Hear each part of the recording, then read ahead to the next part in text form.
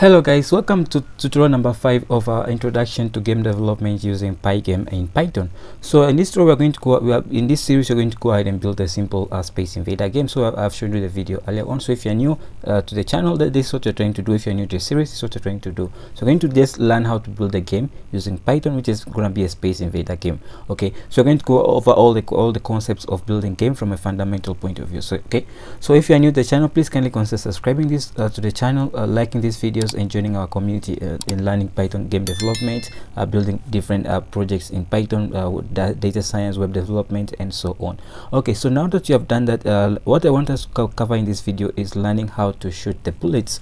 Right now, we, we our player is going to be able to shoot our spaceship is going to be shooting bullets, and those bullets when they whenever hit they hit the alien craft, then the alien craft dies out, right? So this is, this is what you're going to be trying to do, and in this we're going to go over overhead and learn how to do the bullet shooting. So in the last tutorial I thought that we'll go over displaying the enemies but I thought that we do the bullet shooting and then from there we can move on to the enemies and then cover concepts from there. Okay so now what we need to go ahead and do is the first we need to go ahead and do is to download an image that we need uh, to use. So you can just go to Flaticon uh, Flaticon and just download an image from there and use those image for uh, your, uh, your, your your users so you need to download a simple image uh, you from uh, Flaticon and then you're going to be using that image for this okay so I've already showed you how to download images from previous tutorials so you can just go ahead and check those previous tutorials. You can just go to flaticon.com and then search for a bullet or a missile and then download an image which is similar to that uh, missile okay? So i've already downloaded my image. Let me just show you. Let me just grab my image and then we can use my image right here okay? Again, again all these images available. The link to these images available on my github repository. So if i go to my i think i go to my desktop. I think i believe i get in desktop uh, content and is under my uh speaking i have is a space uh let me just see. Uh it's not here so let me just go back here. Let me just go into projects and I go in here and I can find it in assets. Okay right here. So it's a bullet that I have. So I'm just going to go ahead and simply copy this and then uh, simply go ahead and paste it okay? So I'm going to go to my desktop go into my tutorials folder and my, space invader into my assets folder and simply paste it here. So this is this is it right here. And you can find this uh, the access this image on my github uh, uh, my github page. The link is to be in the description or you can download it from Flaticon okay? So once we have this downloaded I'm just going to go ahead and uh, begin to code. So make sure that if you download an image from Flaticon make sure that the image is uh, I think it's to be a 32 by 32 pixel image of the for the bullet okay so yeah. So once we have that out of the way let's begin to actually see how the code uh, for this is going to work like. So uh, what I want to go ahead and do right now is simply the first we need to do is actually load uh, load the bullet. So let's go ahead actually load that bullet information. So I'm going to just go up here and then I'm just going to say uh, load uh, load uh, load bullet uh, image. Okay so now I'm going to go ahead and load the bullet image. I'm going to say bullet bullet uh, underscore img is going to be equals the following. So it's going to be equals to pygame dot uh, image dot load and then simply we're going to go ahead and load the image that we want. So i'm going to go uh, into forward slash assets and then assets forward slash i want to go ahead and simply get the bullet uh, sorry this is going to be the bullet uh, dot png okay this is uh, which is this image that we have right here the bullet.png image okay? So i'm going to go ahead and simply load in that image. And once i have the image loaded uh, i can go ahead and, and blit it the screen. But we want to blit it based on a certain condition okay? So now i want to go ahead and actually set uh, some values here before we proceed. So i'm going to say bullet uh, y. And the bullet y i'm going to be leaving it around 4 uh, 480 and the reason why i'm leaving it to be 480 because uh, the player is also 480 and why am i doing that? The reason i'm doing that is that the player doesn't really move on the y-axis so let me just go back to the diagram and let me just go back and explain. So using this diagram okay? So we have the y-axis this way the one going downward. So the player doesn't move away from the y-axis. So we want the, the we want the bullet's position in terms of the y-axis to be equal to the player's position in terms of the y-axis.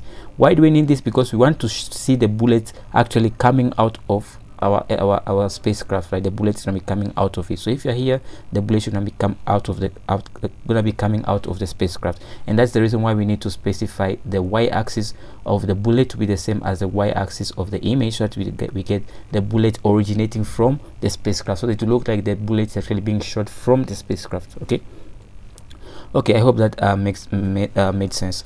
Oh that's why I'm, I'm using 480 here and i'm also using 480 you can you can create a constant and then use that constant. So whenever you change the constant it changes it for both of them instead of having to uh, do it twice. But i'm just gonna keep it uh, this let me say bullet.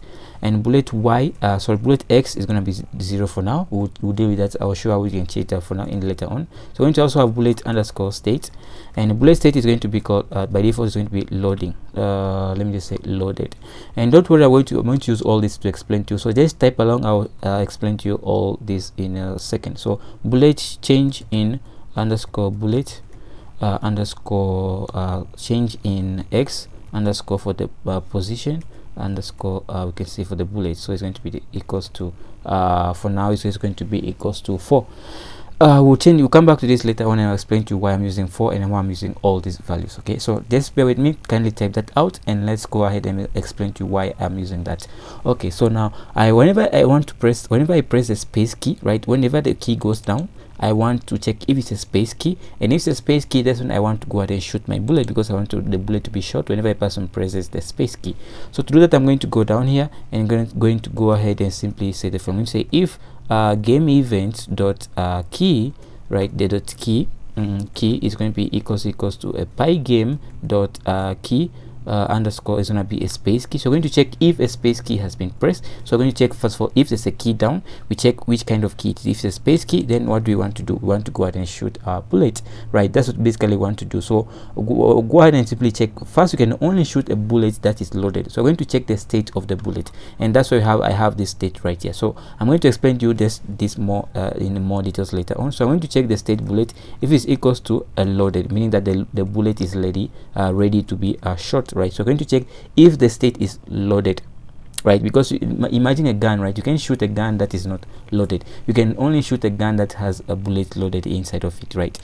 So yeah that's basically what you're uh, trying to implement right here okay okay so i have to keep an if condition right here. I forgot the if so if a bullet equals equals to loaded and then you're going to do something. What do you want to do?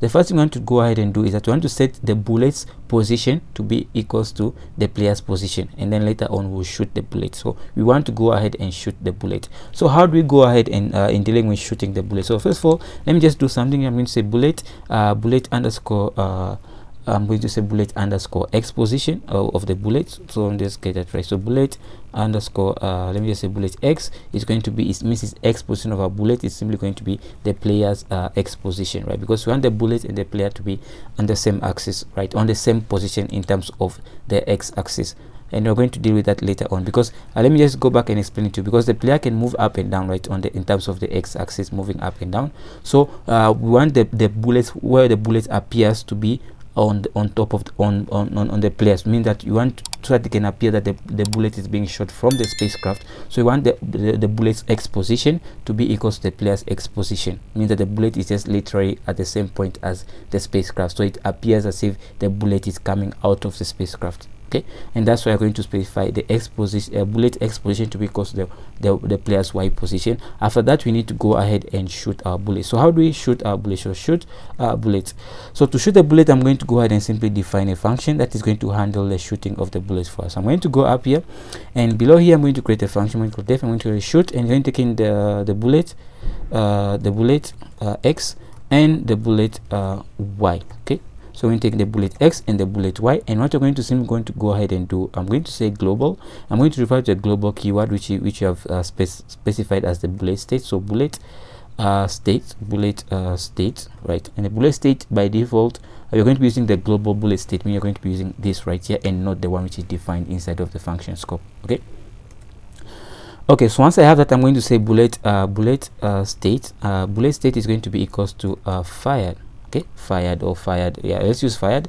So bullet state you're going to change the bullet state to fired. Whenever, uh, whenever we shoot a bullet means that the state now is fired it is not more anymore loaded okay? So we're going to say state is going to be fired and we're going to say we're now going to go ahead and simply draw this bullet on our screen. So we're going to say screen bullet passing our uh, bullet image. So we're going to say bullet uh, bullet uh, image right here and you're going to pass in where we want to draw it. So we're going to say bullet y uh, bullet uh, bullet y and uh, bullet x okay? Bullet x and uh, the bullet uh, y okay? Just like that get the bullet y.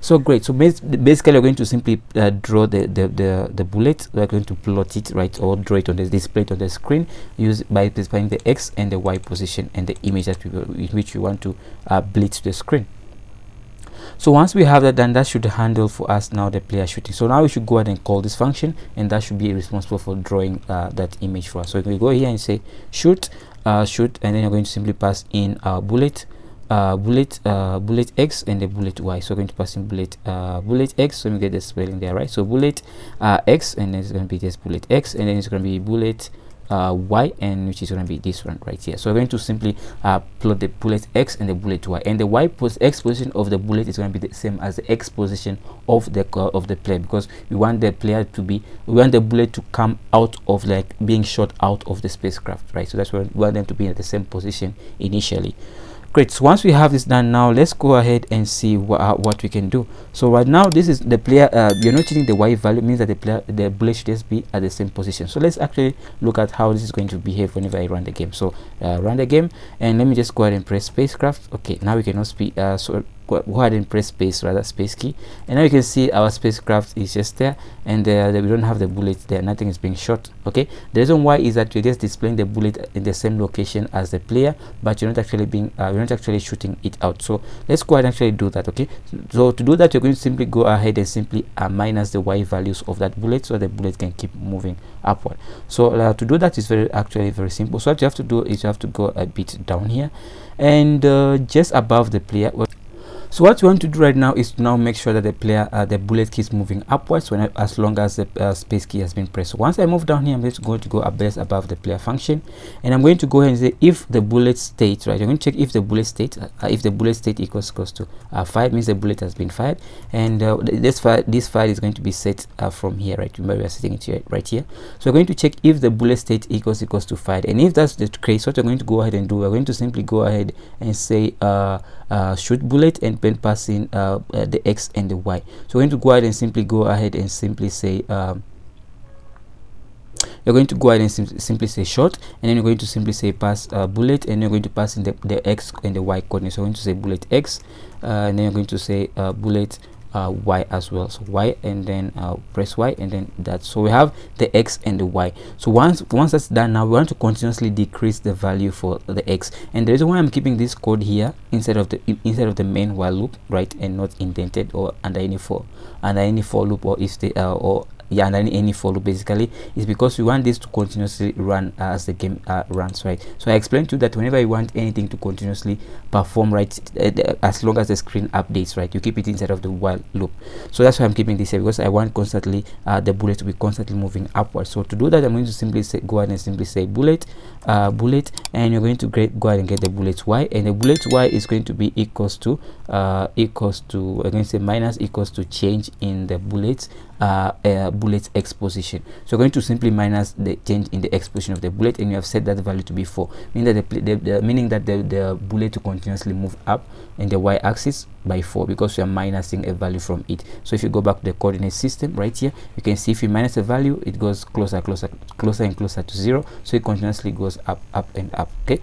So that's what uh, we are trying to do right here. So if the bullet state is fired and the, fi the fired state appears whenever we call this bullet function which is going to go ahead and simply set the state to be fired okay? So now let's go and actually run the game and let's see what's going to happen. So once i press this now you can see the bullet has been fired. And i'm going to press exit. Now you can only fire one bullet at a time. So you can see right now one bullet gets fired. And then whenever i press space again and uh, no no other bullet gets fired. So what am i going to go ahead and let me just go back in here. Um, back in here. And go back into my vs code. Now uh, what we want to go ahead and do is that we're going to be able to fire multiple bullets right? Not just one bullet well so what we're going to go ahead and do is that we're going to check if the bullet has reached the x-axis on the has reached the zero point in terms of the y-axis. And if that's the case uh, we're going to return we're going to set its value back to the position of the player so that, so that the state can be loaded again and the and the player can be uh, the, uh, so that uh, the player of the game can be able to shoot again. So to do that i'm just going to go go ahead and here uh, in here and I'm going to say if the bullet y right if the bullet y is equal uh, less or equals to zero what I'm going to go ahead and do is I'm going to say bullet uh, bullet y and i'm going to set that to be 480 and why am i using 480 480 is the position of the of the player and the bullet in terms of the y-axis because the bullet originates from the the position of the y uh, of the player in terms of the y-axis right? So i'm going to set it back to the the same value as the x of as the player's y-axis value. And that's the same value that we use here and here. Okay? So and that's, same, that's the same value you're going to be using right here and once we set it back we're going to go ahead and simply change the state of the bullet. So now the state of the bullet now is loaded again because the bullet has now been uh, loaded because it has fired previously but now it's going to be equals to loaded. We're going to, because it is back to its initial state and ready to be fired another time. So we're going to state the state back to loaded which will enable us again to check if it's loaded and then be able to fire the bullet again. So once i have that done i'm just going to go in here run the code again. So if i shoot now you can see i can shoot multiple bullets. So i can shoot while even moving around. I can shoot multiple bullets. Okay you can see that uh, that works okay? So that works uh, as expected. So they can now shoot multiple bullets and uh, everything works as we uh, we intended to work. Okay good. So yeah that's basically how we can shoot multiple bullets and uh, and uh, make sure that our bullets we can shoot multiple bullets and without having any issues of the weighting or any stuff like that. So yeah that's basically it on how to shoot our, our, bullets and be able to um, shoot the bullets and uh, hopefully in the, in the, in the next row create the, the, the enemies and then our bullets will hit the enemies hopefully. And then now we can detect the collision and then be able to perform uh, actions depending on uh, whether there has been a collision between the bullets and the enemy aircraft or not. And then we can do that uh, uh, that calculation and then be able to decide whether the enemy dies and whether we increment our points or not. So that's what we're going to be covering in the next tutorial so if you guys enjoyed this tutorial so far kindly consider liking the video sharing the content with anyone who you think might find it helpful. And uh, subscribe the youtube channel if you haven't yet subscribed. Uh, join a great community of python uh, we learn python uh, for different stuff game development web development uh, building a back-end applications and all that stuff all the fun stuff with python data science and ai and all that. So if you're interested in those please kindly consider subscribing to the youtube channel and see you in the next one. Keep safe